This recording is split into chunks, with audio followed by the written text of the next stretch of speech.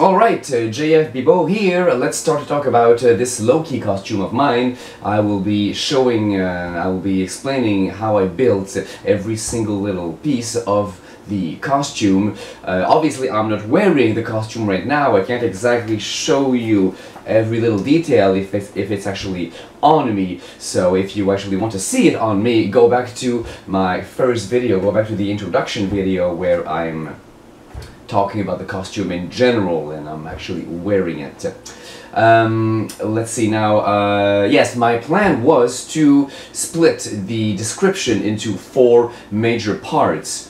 Uh, that is still my plan, however, looking at this now and recollecting uh, everything that I went through to build the thing, I think that uh, these four parts will probably be further split into uh, subparts, little little partlets, to keep things somewhat manageable. I don't want to end up uh, uploading 40 minute videos or whatnot. So uh, yes, yeah, so you, you will uh, find these four major sections uh, split into smaller ones. Uh, and the first one is uh, the everything below the waist, the pants, the footwear, and there we go. Let's start talking about that right now.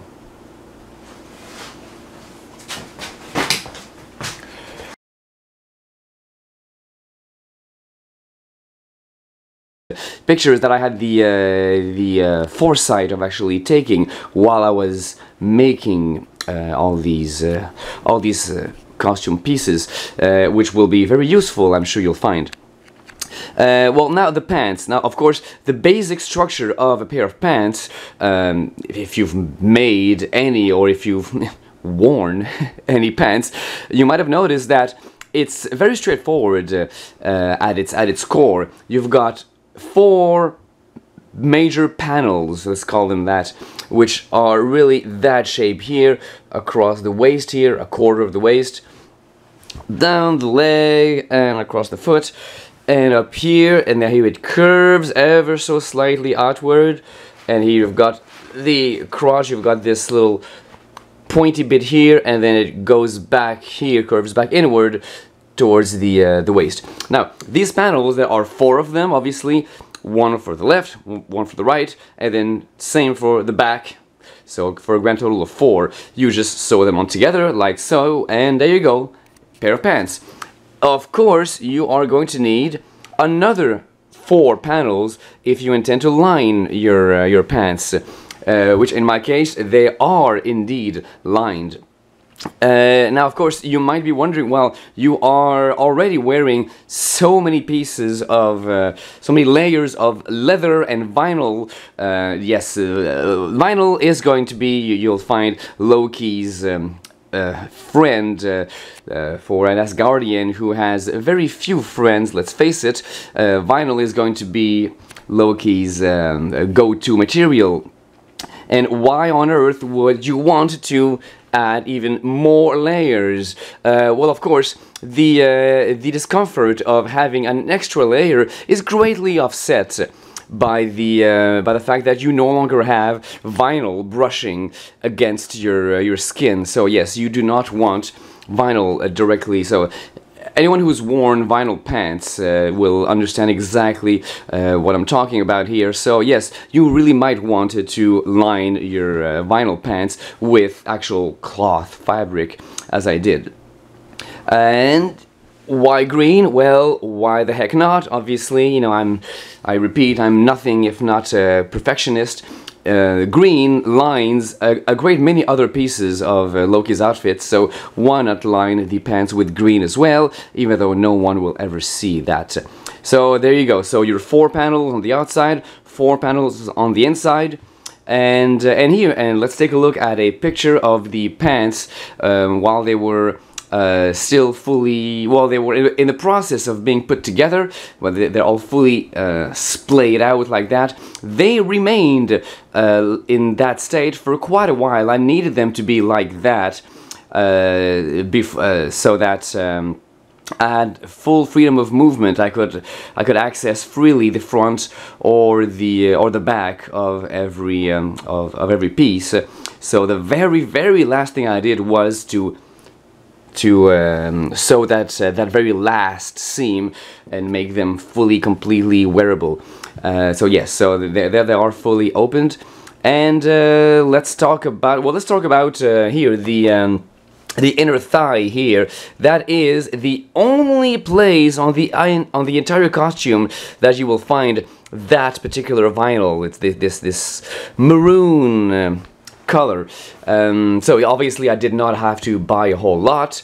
And uh, why is it there? I don't know, search me, but you, you can clearly see that Loki has this uh, this lighter um, inner thigh, the, the inseam, I suppose you would call it, um, uh, color there.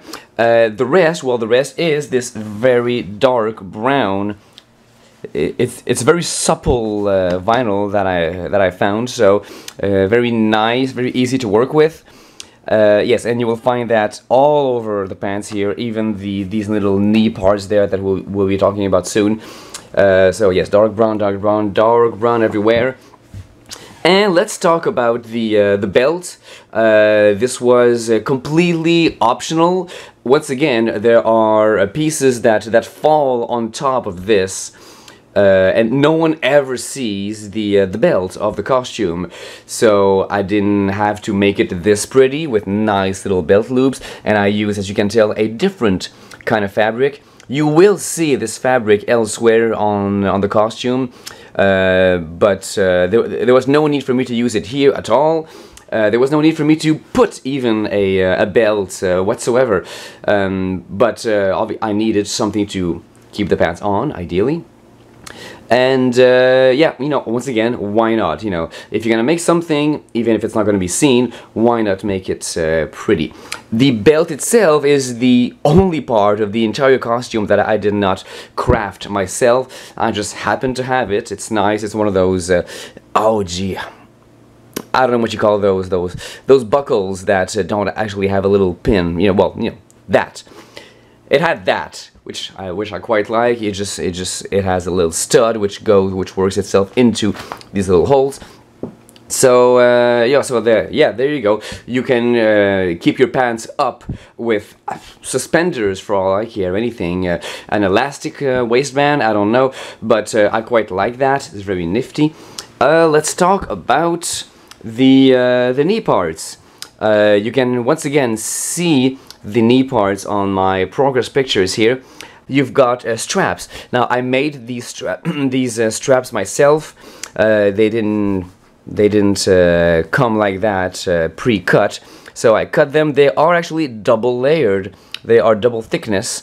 So uh, first of all, I cut them sewed the uh, the two pieces together. And then finally I started interweaving them uh, into one another. So one piece here another piece that goes underneath sew them together here at the bottom another piece here sew them together here another piece that goes behind it so where oh, so oh, here so here and this yeah I suppose in the bottom or maybe not.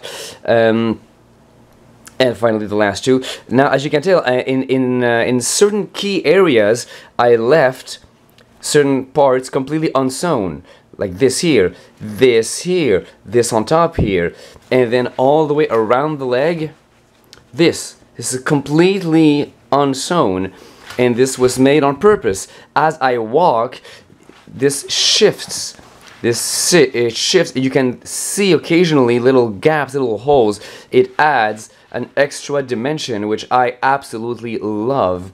Um, so yes, you could like peer down some cracks here, which yes, it really gives it that uh, that depth that I quite like. Uh, I suppose you don't have to do that. I'm not sure that there's any evidence that it's supposed to be like that, but I quite like it. And it is not the only place in the costume that I did that. There are other crisscrossing uh, the themes elsewhere in the costume. First of all, there's another piece right here. Duh. Anyway, uh, that's not what I mean. There are other areas, entire entirely different areas where you will find this uh, crisscrossing uh, pattern here and uh, yes in these other areas as well I used this uh, whole depth uh, see-through uh, unsewn gaps there now, uh, the knee parts, they are attached to the leg right here, and they wrap all the way around, and uh, you, you can tell that they that they climb they climb up and you see now you see more of these intentional gaps here which I which I quite like. They keep wrapping up upward and they end up back here. They end up right right up the crotch right here so and they and they reattach themselves to the other part of the maroon little uh, uh, little strip here. So there you go all the way around the knee. And that's for the knee part. And now uh, the uh, most fun aspect oh well let's briefly go back to the belt the belt area. Little button quite nice quite cute round uh, it fits the rest of the outfit no one will ever see it, but there you go. Uh, now, the four panels, yes, this is how the whole thing started. Start talking about the four parts of the, the, the, the four panels of regular pant making. Usually, a panel will start down the middle and go all the way to the edge. And here you'll have a seam. You'll notice here that on my pants, the seam is here. It's not directly on the edge it's here on uh, on the front running down the front of my thigh same thing here on the other side um, why is that? Well, there are two uh, two major reasons. First of all, I wanted the um, the little rectangular pieces of armor to start on the front of my legs, not on the sides and I did not want to have to negotiate my way around or through a seam in the middle of these rectangular parts. Um, and um, yes and that's why I didn't want to have a, a seam right here. Uh, it might have ended up like in between two columns of, of rectangles. It might have ended up like right in, in the middle of a, of a column didn't want to have to bother with that. So there you go. There's the seam and the rectangular armor begins at the seam and runs all the way behind it, all the way down the back. Uh, so there you go. I, my, my seam is in the front so that it wouldn't uh, interfere with the armor. And so, so you so you can guess, therefore, that the front panels are much narrower than your normal uh, pant panels usually are. And the back panels, well, they are much wider because they begin down the middle. They go all the way to the edge and then they keep going so that they can wrap around and end up here. So much narrower parts for the front and much wider parts for the back. And yes, that has brought us to one of the uh, two biggest headaches hassles of the entire Loki costume. One of them is this uh, armor area here, these darn little rectangular pieces of armor. Uh, of course, there are many, many uh, problem-inducing, time-consuming parts to this whole costume. Uh, but yes, there are two that stand out from the rest, and one of them is these. The other, uh, we'll get to that soon enough. Um, but uh, yeah, so the armor. I suppose I will uh, I will wrap up this video um, uh, talking about uh, the rectangular armor, even though there's quite a lot uh, to to say about it. Uh, gee, oh yeah, well. I've got some more progress pictures on that, first of all, so yeah, there, there you go. what is it what is it made of? I used Wonderflex. It is my understanding that Wonderflex is essentially the same thing as Worbla. It is functionally the same thing as Worbla. I have not used Worbla yet. I've used Wonderflex many times in the past. At one point I bought a huge, a huge pile of it and it has sustained me um, all these years and now I'm pretty much down to my last uh, few bits. So my next project uh, I suppose I will either get some more or I will check out this Worbla thing and I'll be able to compare if, if they are really if they really are that similar. Anyway um, so yes Wonderflex uh, you heat it up. It's it's a plastic sheet. You you, you, you cut it you heat it up.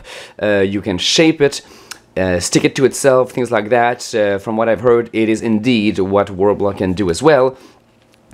Um, uh, Uh, but of course, in, in, in my case here, in the case of these little rectangulars, I didn't have to shape it. No, just cut it, paint it. This is uh, gold, just your regular gold shiny uh, paint. And that was it. It was ready to install, so no need uh, to uh, to shape it, to give it a, a particular little shape, which is usually the point of Wonderflex and Worbla. But no, I just needed some hard little pieces. And now, um, installing a single one of these little panel uh, required me to um, to uh, to use a little uh, hole punching tool. Well, that's an inconvenient. Should have turned off my phone. Hold on a minute. Sorry about that. I had to take that call. Uh, who who calls people anymore? I mean, we're all about texting nowadays. Uh, anyway, uh, well, that little pause enabled me to go get, fetch a few tools that I wanted to show you. So, uh, the process of installing a single one of these little armor panels uh, meant that I had to, first of all, punch four holes in um, my pants, four holes through the vinyl and the lining of the pants with this nice little uh, leather working tool. Uh, work uh, the oh I'm sorry not yet. I had to also drill drill four holes in the panel the panel that I was about to install. Apply the panel to the uh, to the pants work in the uh, the uh, the front and the back part of the rivets so four rivets four parts in front the four um, corresponding parts in the back and uh, then uh, just just snap them together. So that's a single uh, piece. So repeat that. Uh, let me see. I've got uh, one, two, three, four. I've got five columns, and I believe I've got ten rows. So that's fifty here, fifty uh, on the other side. Yeah. So that's that's the kind of job that you have to uh, look forward to. Now, if you look at the um, at the original uh, costume design, uh, Loki's little rectangles uh, are perhaps a little smaller than mine. Therefore, he can fit more down his uh, legs than I have. He might have instead of um, 10 rows, he might have 12, I think. He might have a sixth uh, column. I believe that might be the case but this is really as small as I was able to make them any smaller than that and uh, the holes might have been too close to each other and I might have become uh, just a little too much insane uh, this was a crazy enough job as it was. So I'm quite happy with it, even though, yes, the purists might say that oh, you don't have exactly the same amount of rectangles. Well, fine. You will be Loki next time. And uh, now let's see what... Oh, yeah, well, I left out one part intentionally because originally this, uh, that's all I did. That's all I did, as if that wasn't enough. Um, so yes, punch through the uh, the pants, drill through the rectangles, and then the rivets, and then just just snap them with your fingers. They just they just clip on. That's all I did. And then when it was all done, and everything else, then I sewed the pants shut everywhere, and there we go. I had my pants. Then I realized that just snapping them with your fingers is not enough. They are prone to just coming loose. If you just drag your thighs against the edge of chairs and things like that, uh, they will come loose and they just don't look right. They uh, they just they they they jut out. They poke out. Uh, doesn't look right. You need to hammer them. Of of course, I mean, some people are, are viewing this as, well, duh, JF, that's quite, quite obvious. Well, you know, as I said before, I was rusty when I made this costume. I hadn't made one in years, so there you go. That's, uh, that's what comes from uh, being a little out of practice. I forgot to uh, hammer them. So you uh, you either hammer directly on them or with a little uh, tool, you know, the kind of tool that you use to uh, install to install uh, pressure snaps. Um, uh, but either way, you want to use a, a, wooden mallet, of course. I say of course, but I don't quite know the reason. But either way, I do know that you're supposed to use a wooden mallet. And uh, there you go. So don't forget to hammer them in. So that well, that part was not too time consuming. But the problem is, is that I did it while my pants were done, when they were, you know, all the seams were shut, they were in this finished state. What, what happened because of that is I worked like this, and I hammered, hammered, hammered, hammered, hammered, hammered, and unbeknownst to me, the inside, the inner part of each and every single rivet drove into the other parts of the pants. So I work like this, which is the back of the leg, and then when I flip back around, the front of the thigh here had all these nasty little round, you can see them quite well here, these welts and indentation which which is a uh, which will remain there forever which is a a testament to my um, to the fact that I was out of practice out of shape in uh, cosplay making. That was a mistake so uh, of course nobody nobody but me knows they're there well except all you guys now. But uh, yes yeah, so I'm the only one that this really bothers but it does. It really does bother me.